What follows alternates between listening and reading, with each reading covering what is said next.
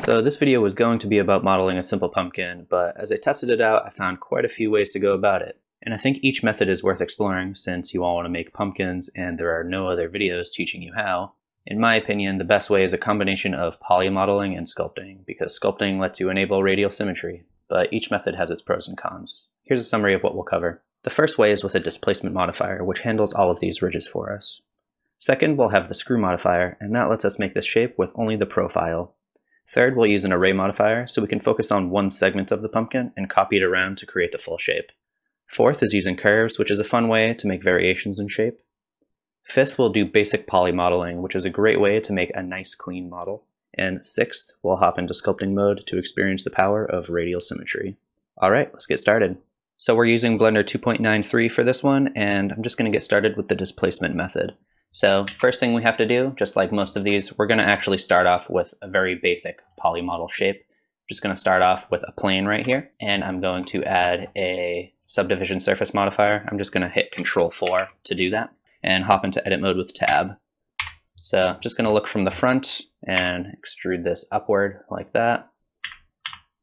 Scale it in just on everything but the Z axis right there. And in face select mode, I'm just going to select the top and the bottom right here and inset those with I like that. And then using x-ray mode for this, I'm going to scale that on the Z axis right here just to pull it in a little. Add a loop cut with control R and scale that out. So here you can see we have a very basic pumpkin shape now. I'm going to keep going to create the stem. So in face select mode, just going to select that top one, hit N to open up the side panel right here, and turn the mean crease all the way up like that. You can see it's sharp now and extrude that up slightly and then turn this one all the way down. So that one is smooth now. And this is just gonna be the stem. So I'm gonna inset that like that, extrude it upward, extrude it again, and scale it out just a little. And then I'll inset a little more just so it's a little sharp at the top. This is what we have right now. Next, we'll add the displacement modifier right here. And you can see it's getting all wonky. So I'm just going to turn the strength down to 0.1. And I want the mid-level to only push outward. So I'm just going to turn the mid-level all the way down to zero. We can add a new texture right here. I'm just going to name this ridges. We can click this button to go to the texture tab down here. I'm going to change this type to blend and down here change this from linear to radial. So you can see this is the shape of our texture right now. And you can see what it's doing if you look from the top.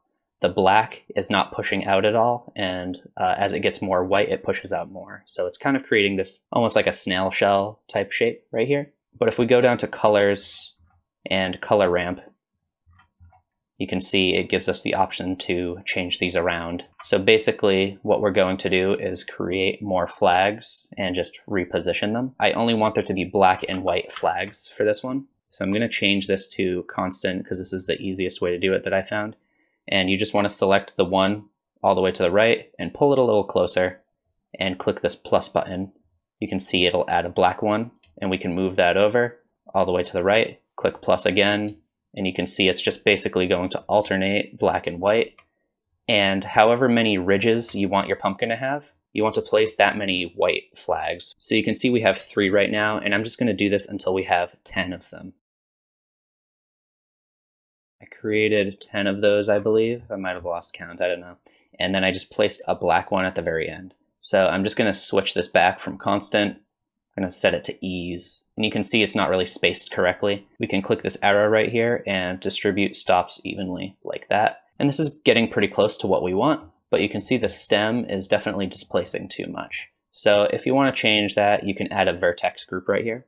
You go to Object Data Properties and click the plus. This will add a new vertex group. We can change this to ridges. It doesn't really matter what the name is. You just want to make sure that you select the same name down here and you can see everything will go away. What we have to do is hop into weight painting mode. So I'm just gonna select this and hit control tab and weight paint right here. And if you wanna know the spots that you're actually editing, you can turn on wireframe right here. Just so we don't have to touch each vertex, you can go up to active tool and workspace settings, this one at the very top, go down to symmetry. I'm going to turn this off and turn on mirror X and Y right here. You can see now it's going to mirror that selection on the X and the Y axis right there. So we only have to select like a quarter of our mesh basically. So I'll just make sure that this is maximum and then I'll turn the strength down a little and we can just paint where we want it to actually be displacing. Okay, and I think that's pretty good. Then we can go back into object mode and turn off wireframe. And there's our pumpkin. You could also add another displacement if you want, just to add some different shapes. Just want to make sure that you turn color ramp off for this one. And you don't want the strength to be too high. We can shade that smooth, and it looks a little more real now, just to have some irregularities. But this step is completely optional. So one of the cool things about using the displacement modifier is that it's completely procedural. If you want to add more ridges, you totally can. But the downside is that you don't get the flexibility of just being able to push and pull points around. You are limited in that way, but you could always do a combination of poly modeling and the displacement modifiers. All right, next we can talk about the screw modifier. So to get started, I'm just going to add a plane and tab into edit mode. I'm going to make sure that I'm in vertex select for this, select everything and hit M, and I'm going to merge that at the center. So it's going to create a single vertex right here. We can basically just start uh, drawing the profile of our pumpkin right here. If you want to make sure that you're snapping to the center line right here, you can just go up here to snapping options and turn on absolute grid snap right there. And then when you're moving this around, you can just hit control and it will snap to the grid like that. So we know it's in the very center. Now we can add the screw modifier right here. And you can see it's basically just going to spin all the way around. Obviously, we can also smooth this out too with another subdivision surface modifier. I'm just going to hit control 4 for that and move that to the top. So it's basically smoothing out the line before the screw modifier touches it. And if we want, we can edit this to make it look however we want. Right now it looks a little Apple-like. So one of the upsides of this is it's really fast, like you saw how fast I did it. One of the downsides is you can't really create ridges with this method, not this method alone anyway. If you wanted, you could add a displacement modifier, just like we did in the last one, and we already have the ridges one right here. So we could do that if we want some ridges. You can also change the resolution of this. So we could set these to something higher like 64. You can see now it has higher resolution. One other downside is that when you're editing this, you can't create sharp edges if it's just a single vertex. So instead, if you wanted this to be sharp, you could add another spot in right here, another point, and hit G twice to slide it along the edge until it's a little closer, and it'll make it a little sharper like that. Let's move on to the array. For this one, I'm going to add in a circle. And when you create that, you'll see we have this little dialog in the corner. We can create as many vertices as we want, any as many segments. I'm just going to make this 12 so we can have 12 different ridges. So I just want to rotate this until we have a flat spot in the front right here. Um, and the easy way to do that is just know how many ridges you have. So we have 12 right here. You just double that. Um, so I'm going to do 360 divided by whatever double the ridges you have is. So in this case, it's 24, and that's pretty much it. So if you had six ridges, you would just do 360 divided by 12. And if you had eight, you would do 360 divided by 16. When you do that, you just want to control A and apply the rotation right there. So now I'm going to go into edit mode, just select all of these, hit E to extrude, and then S to scale. I'm just going to scale that inward slightly like this. Hit 3 to select faces. Just select this front face right here and hit Control I to invert the selection. And I'm just going to delete every other face like that. So we just have this one right here. So now we should set up our array modifier. We're going to want to add in an empty to control this. And then select your mesh right here. Under modifiers, add an array modifier we don't want to use relative offset, we want to use object offset, and we can select the object that we just made, that empty. And we know we want 12 ridges, so for the count, I'm just going to put 12, like that. Now we just want to rotate this on the z-axis until it loops around perfectly. So the easy way to do that is for the z rotation, we can do uh, 360 divided by however many ridges we have, so 12. And you can see when we add our subdivision surface modifier, um, none of these are connected. So we need to click this merge button for the array modifier to work. And if we drop down, you can see there's also a first and last connect right here. You want to select that too, or else you're going to have that gap right here. All right, now we can go into edit mode and start editing this.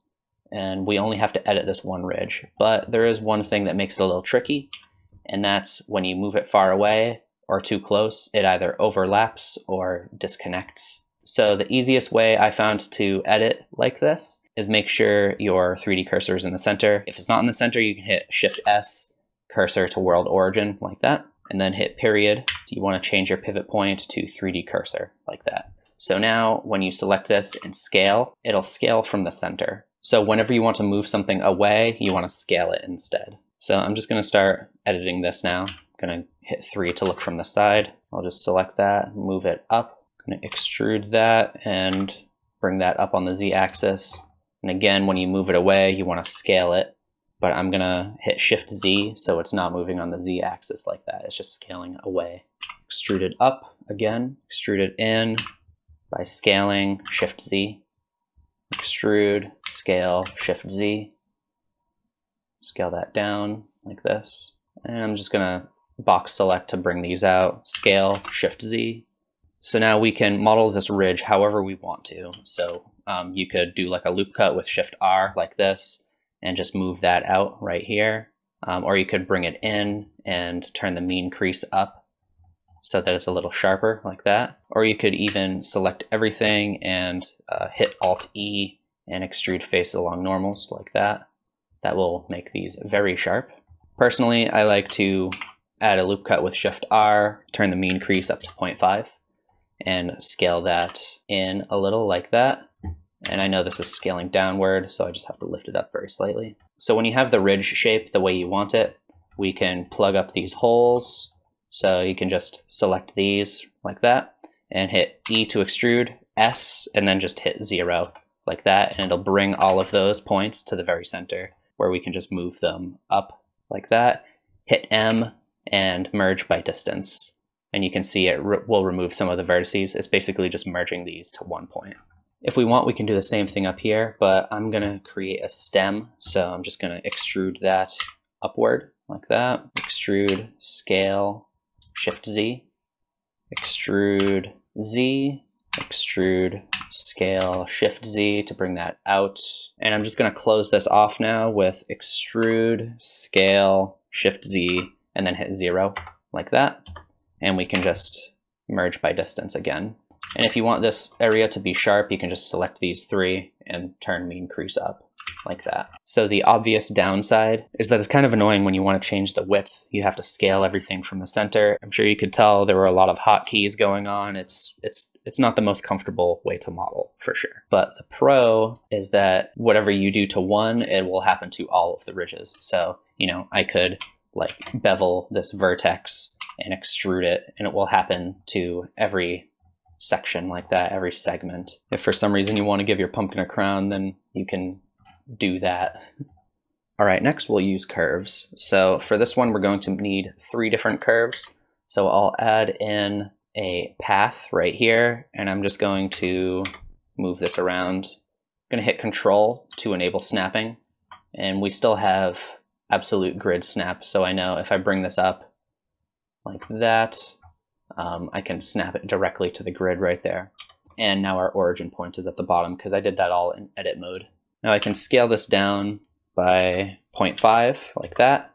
I'm just going to hit Control A and I'm going to apply all transforms. So this is going to be the center of our pumpkin. I need to create another curve. I'm going to create a Bezier curve right here. This is going to be like the tapered shape of our pumpkin.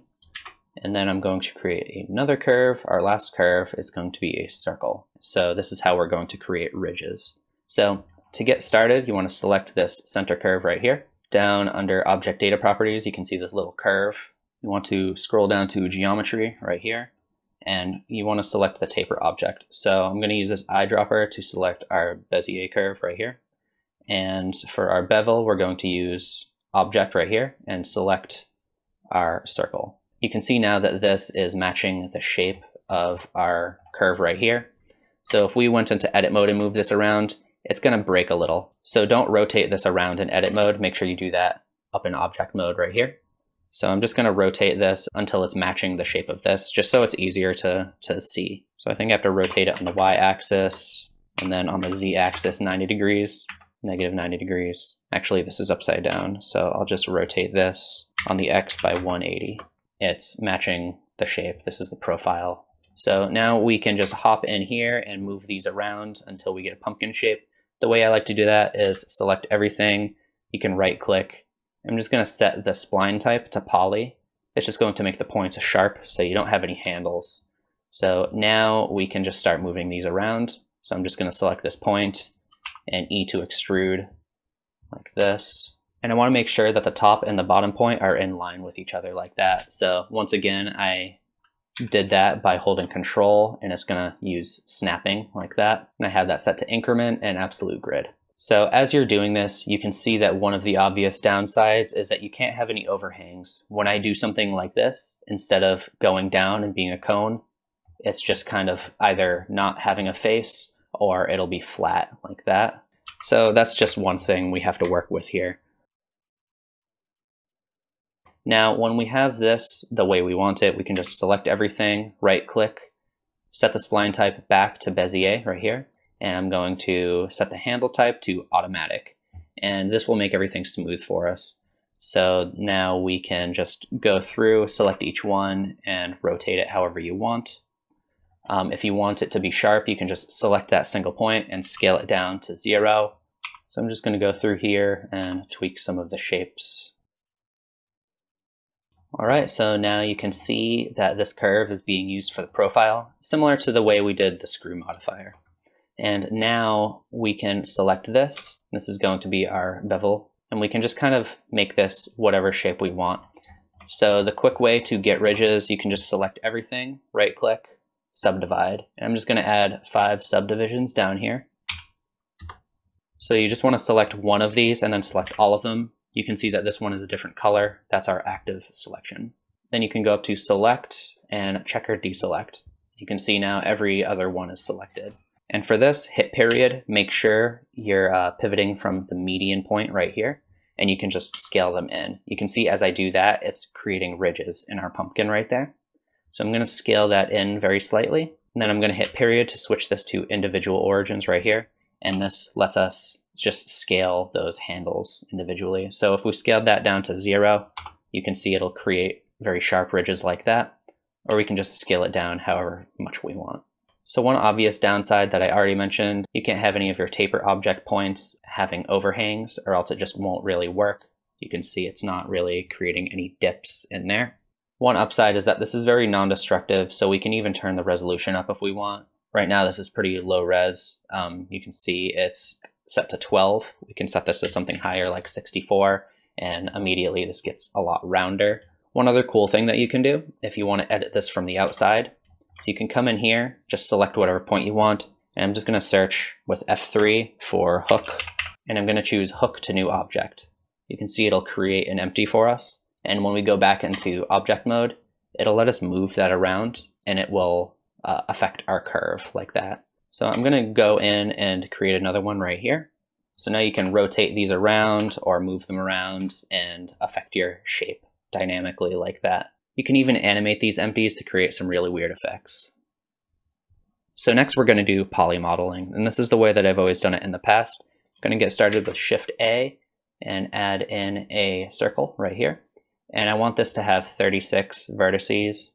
Um, I like this because it's divisible by 3. I'm going to add a subdivision surface modifier with Control 3, and I'm just going to start modeling this in edit mode. So I'm going to scale this down, the center of our pumpkin right here. I'm going to extrude that down like that and scale it. Extrude it up on the z-axis, extrude it and scale it inward a little. And I want that to go down a little too. I'm going to add a ridge in the center with Control R and just scale that out. And I'm going to select this ridge and bevel it with Control B. I just want to, you can use your scroll wheel to create loop cuts, but I want to have no loop cuts. Be about right here. I'm going to scale it out like that. All right, so before closing the top and the bottom, I'm just going to select one of these edges right here, and I'm going to skip two and then select the third with shift and left click like that. And before doing anything else, you can hit Control, Shift, and plus, and that's basically going to repeat the selection. So you can see it just added another one right here, and we can just do that, Control, Shift, and plus on the numpad. We can just do that until it goes all the way around. Joey from the future here coming back to tell you I found out how to select multiple edge loops. So pretty much just like I showed you, select one of these. I'm going to skip two and select the third with shift left click like that. And then control shift plus on the numpad. That's just going to repeat the selection all the way around. And when you have all of these selected, you can actually just go up to select, select loops, edge loops like that. So you don't actually have to go through and individually select each one.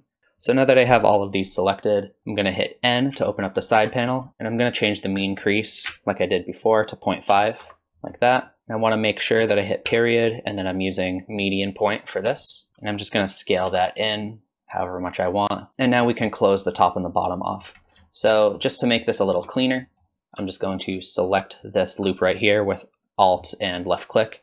I'm going to hit S to scale, Z, and then 0 and this will flatten it out on the z-axis. I'm going to do the same thing for the bottom, scale z 0, like that. And with the bottom selected, I'm going to hit Control F, and that's just going to bring up uh, this face menu right here. Control F, grid fill. And if that doesn't look how you want, change these around until it looks clean to you. So I think maybe this, I'll rotate it around. That looks good. I'm just going to extrude and scale that in just a little more like that. And if we wanted, we could do the same thing for the top, but again, I'm going to create a little stem first. So to do that, I'm just going to turn the mean crease all the way up and then extrude up on the z-axis and then turn the mean crease all the way down so this edge is smooth again. Extrude and scale that in slightly right here. Extrude upward, extrude again, scale it out, and I'm going to scale this part in and pull it down a little like that. Control F, grid fill, and you can just make this however you want. Just going to change the span and the offset until it looks good. And you can also enable simple blending and that will clean it up a little too. So the downside of this is it's also completely destructive. Uh, if you want to change anything, you just have to go in here and move stuff around. But it also gives you a lot of control, which I would say is the upside. And you can see when we shade this smooth, it's very clean. You know, if you're looking for something very simple, this is probably the method that you want to use. So last, we'll take a look at sculpting. So before we just start sculpting on a plain cube or something like that, I am going to create a base mesh. So I'm going to do some basic poly modeling for this. So one other thing is for this, instead of using the subdivision surface modifier, I'm going to delete that and add in a multi-resolution modifier like that. And to add subdivisions, you just hit the subdivide button. So I'm just going to add this until it gets smooth. Be careful, you don't want to add too many uh, subdivisions and crash your computer. So if it starts lagging, you might want to stop adding subdivisions, but I'm going to go up to, maybe I'll go up to six, okay? So now that we have this, we can just hop into sculpting mode and you can just start sculpting and adding ridges. But instead of adding a bunch of ridges like that, we can enable radial symmetry. You want to make sure you're at active tool and workspace settings at the very top. Um, scroll down until you get to symmetry, and you can see we have radial right here. Um, basically, however many ridges you want, you can just type into here. So I'm going to hit 12 like that. And now you can see we have all these dots, and I can basically just make one ridge like that. But instead, I think I would like to use this crease right here. Look from the front. And for this, I'm using a mouse too. Uh, I do have a tablet, but I think this is easy enough so that you don't really need to use it if you don't want to. I'm Just gonna do this until I get a nice crease going. You can carry this to the bottom like that. So for the stem, I like to do something a little different and actually change this from 12 to 6, just because I think it looks better. You can change the size of your brush by hitting F like that. And if you want to smooth things out, you can hold shift and then left click and you can see it just kind of smooths like that. So I'll go back over to my crease brush right here, just add some creasing. Okay, so the obvious benefit of using sculpting is that you get to use radial symmetry, like for real. You don't have to mess around with the array modifier. With the mirror modifier, you only get X, Y, and Z mirroring. In layout mode, you could turn the levels down in the viewport like this. So you'd be able to move it around and it looks low res, but you can always turn it back up like that. which is pretty nice. It's a cool feature. I would say the obvious downside is that not everybody likes to sculpt. So if you're not familiar with sculpting, this might seem a little harder to you. I'd say one of the other pros is that you can come in here with radial symmetry after you already made it to add imperfections. If you just go like this, now you have a, a lumpy pumpkin and it, you know, it might look a little more realistic. So yeah, if you ask me, I would say probably a combination of polymodeling and sculpting is the best option, but really the best one is the one that works for you, the one that you're comfortable with. All right, that's it for this one. Leave a comment to let me know which method is the best, or if you'd like to suggest a video topic. Thanks for watching. Have a good one.